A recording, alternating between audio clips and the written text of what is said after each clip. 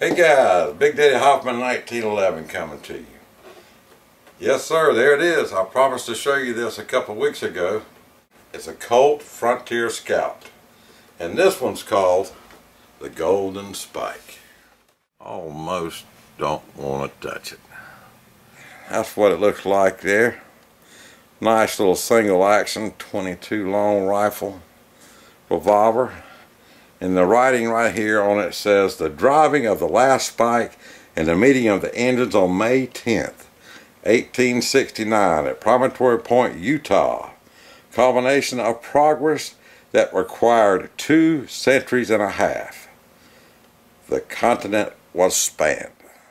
Look at that photo there. Yeah. You see where the two trains come together? And what they're talking about as you well know is the uh, meeting of the trains joining the west coast and the east coast. And uh, man has this got some history or what? Look at that would you? Man alive. Comes in a nice display box. I do like that. Yep it's a collector item all right. Uh, Colt emblem there little single action. Six shooter. 22 long rifle. How about that now? Very very pretty. I just can't get over without all the shoots this bad boy. Man I just can't figure it out. Does Big Daddy roll like that? Mm-mm-mm. I don't know. But anyway I guess we're going to find out. I've had a bad cold here for about two and a half weeks and uh, a week or so ago I went up to a gun show and I took my old friend uh, lives right down the road from me Leroy and I'm going to let him tell you about how we found this one and uh, but he did go with me because I wasn't feeling too good and I'm still not feeling too good so let me let you talk to Leroy a minute and we'll find out whether we're gonna let this be a safe queen or a collector item or what. Alright, I'm going to give you to Leroy. Hey y'all YouTube people, this is Leroy here. And uh, Big Daddy made me put these here gloves on because he don't allow me to touch none of his guns because sometimes my hand's a little bit dirty because I live down the road from him and uh, and I live down there in the, and me and my wife in an old van right down there near the creek what I was going to tell you is I come up here a week or so ago and uh, old Big Daddy, he was a, his nose was a running, he was a sneezing and all that stuff. And he said, I sure would like to go to that gun show. And, uh, and I said, well, I'll go with you in case you get feeling bad, you know. We took off and we, and it was up there near the mountains there on the side of the road. And, uh, and uh, we went in there and Lord have mercy. I'd never been in a place like that before we walked in the door and they charged eight dollars to get in. I couldn't get over that. Eight dollars to get in. And I said, Big Daddy, I ain't got the money. And uh, he went ahead and paid my way. He that Big Daddy, he's a good guy, I'm telling you that. We walked in that place and opened the door and they must have been ten thousand guns in there. It was shotguns, rifles, and pistols and everything. I ain't never seen such in all my life and we we started down one aisle and and and walked that aisle and come back up to another aisle and and Big Daddy he never missed a lick. He just kept on walking. He he really didn't uh, see nothing he really liked that much. And uh, I looked at him after we got through looking at everything in that show, and uh, he nodded at me and uh, wiped his nose because that cold he had, and uh, I could tell he's ready to go. Anyway, we headed towards the door and uh, I looked over there and this guy had this thing right here sitting there with this lid open like this. He he'd, he'd opened it up and I seen this right here and it's a it was a golden spike. I ain't never seen a golden spike in my whole life. I was thinking to myself, me and my wife been married for 25 years and uh, I was thinking if I can get Big Daddy to buy this thing, maybe I he'll let me have this here golden spike, and uh, I can give it to my wife for our 25th anniversary. The reason I'd give her that spike here for my 25th anniversary is she's been a spike up my rear end for 25 years. And I thought maybe I could take a rope there and tie it around this right here, and she could hang it from her neck. And maybe if I got lucky, she might even fall on it or something. But I ain't gonna go there. I love her. She's, but she is a pain in my rear end. I'll tell you that. But anyway, I said, "Big Daddy, Big Daddy, look over yonder." And so I got him to go over there, and he he started looking at this this here pistol. I don't know a whole lot about pistols, and uh, I got to be careful because he he'll get mad if I touch it too much. I looked over at him, and and I seen a little twinkle in his eye. And after looking at all them guns in that whole gun show, this is the only thing that made his eye twinkle. Now, I didn't know if that twinkle was coming from his cataract surgery because he had them old implant. He had cataracts on his eye. I don't know how Big Daddy old he is, but I mean he might be 158, 60 years old. I don't know, but he's got some age on him. But anyway, he had cataract surgery. and He had them old European implants put in and uh, his insurance paid for it. Thank goodness, because I, I, I certainly couldn't have nothing like that because I didn't got I ain't got a, I ain't even got a job. To tell you the truth, but I looked over there and uh, he kept looking at it, and uh, that twinkle in his eye come come again, and I said, "Oh, here it goes. I know what's coming now." So uh, he uh, he whispered in my ear. He said, uh, "Find out how much he's wanting for it." And uh, so I asked the guy, I said, how much are you wanting for that there, that there uh, golden spike in that, in that pistol?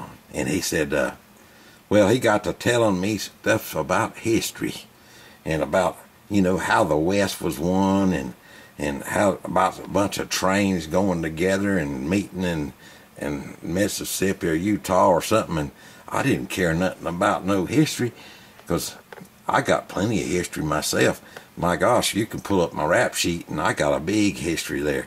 But anyway, I've straightened out now because that was back in my younger days. All I wanted was this golden spot to get my wife. And uh, we started dickering around there and he uh, he come he, he quoted the price and everything and Big Daddy just shook his head and and uh, he, we kept on a dickering and uh, Big Daddy said offer him offer him this. So I offered him that, and the old man says, Well, I ain't sold a darn thing today. He said, I'm just going to have to let it go. A big old tear come down his eye when he said that. So uh, I looked over at Big Daddy, and he was grinning like a mule eating briars. I'm telling you that. So anyway, we ended up with this here thing, and we, we managed to get something and not go to the gun show with nothing, which worked out just fine with me because all I wanted was this golden spike. We left and we got in the car, and I I was looking at this and I was playing with this spike. Oh, I like this thing. Oh, my wife, she would, she would, she would love this. I guarantee you. I wouldn't tell her uh, why I'm giving it to her about her being a pain in my rear end or a spike in my rear end for all that time. But hey, you know, she'd she'd really like it right there. And if she didn't, I could take it and stake up my mater plants with it or something. You know what I mean? Anyway, we got home and uh, I said, uh, uh, Big Daddy, do, do, you mind if I take that there spike right there? And uh, he turned around there and put that put that revolver back in its case and done like that. And he says, let me go to the barn. That rascal went down the barn and got me an old rusted spike.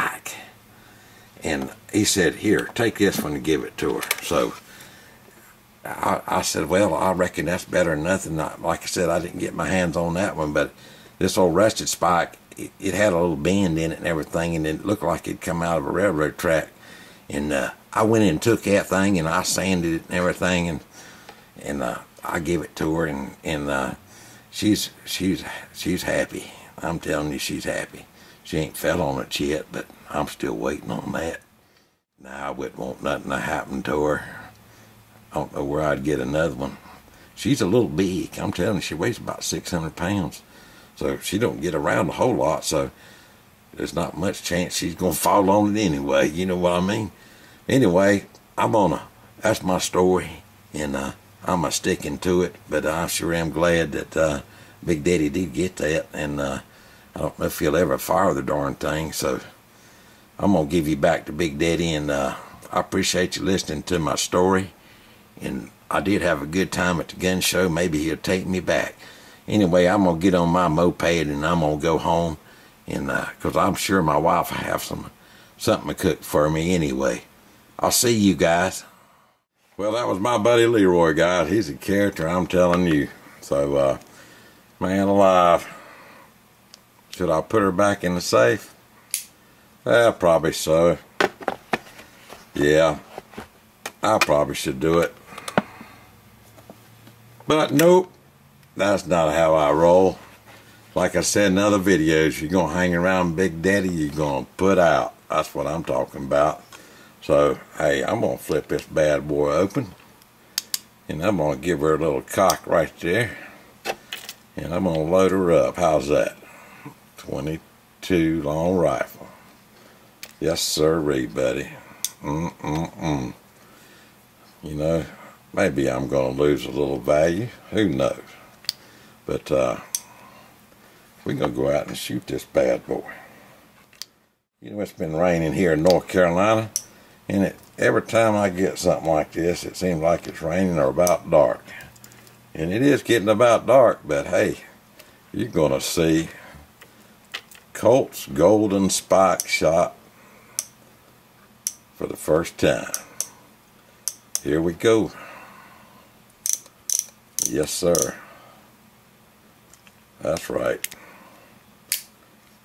Let's go get us some. There she is. We're outside, drizzling rain.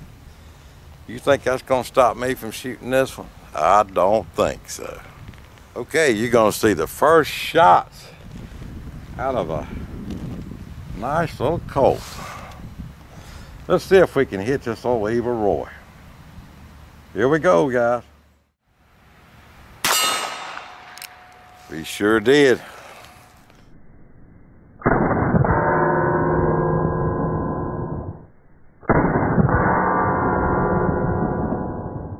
Mm-mm-mm.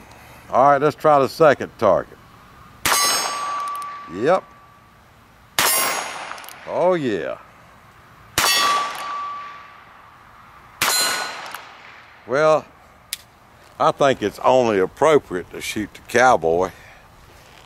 Let's go load her up and do it again. All right. Bring the hammer down and let's see what we can get out of this bad boy. All right, here we go. That's one dead cowboy right there. Yes, sir.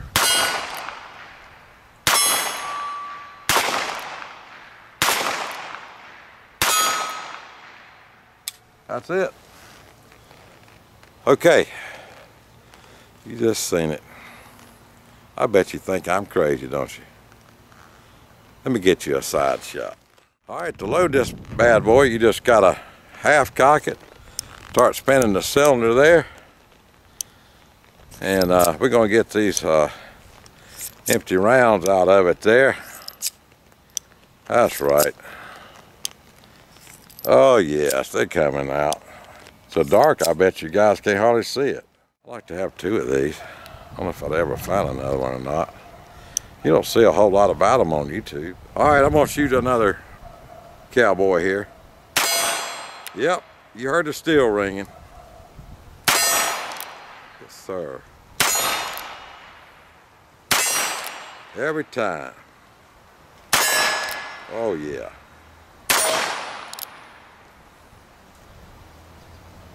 That's it.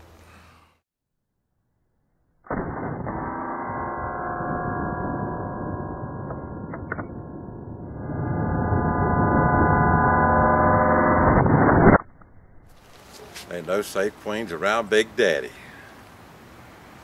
Let's go back in. Alrighty guys, there she is. She is no safe queen now. I'm gonna put the empties in there, man, I probably could get maybe $100 a piece for them. Who knows? Colt Golden Spike has now been fired. No use leaving it to somebody to get when I die, is it? I think I'll leave him in there.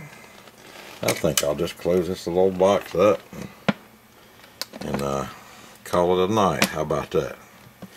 Anyway, guys, I hope you enjoyed this uh, video. I'll try to list some information under it if you're interested in the history of the Golden Spike and the railroad and trains and all that good stuff.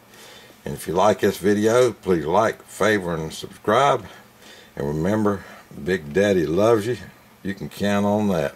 Thanks for all your support and thanks for watching my videos. Hoorah! See you guys. Have a good week.